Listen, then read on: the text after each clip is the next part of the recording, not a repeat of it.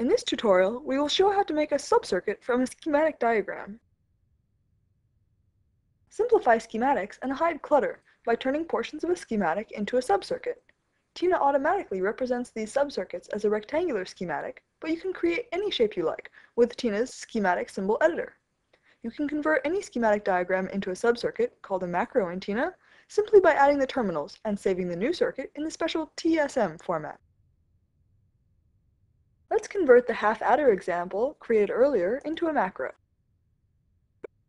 Delete the old terminals and replace them with subcircuit terminals called macro pins in Tina.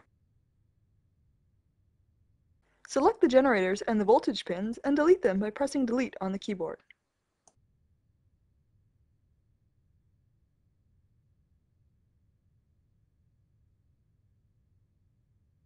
Select the Special Components tab and place a macro pin in the place of the upper generator.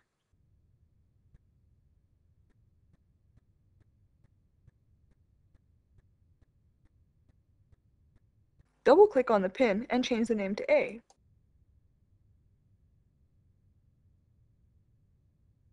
Similarly, add the pins to the other inputs and outputs of the circuit.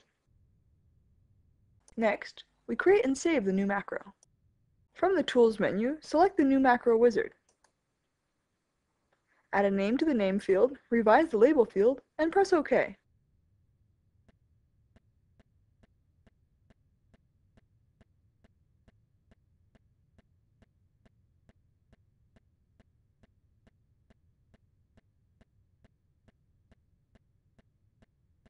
The Save Schematic window will appear.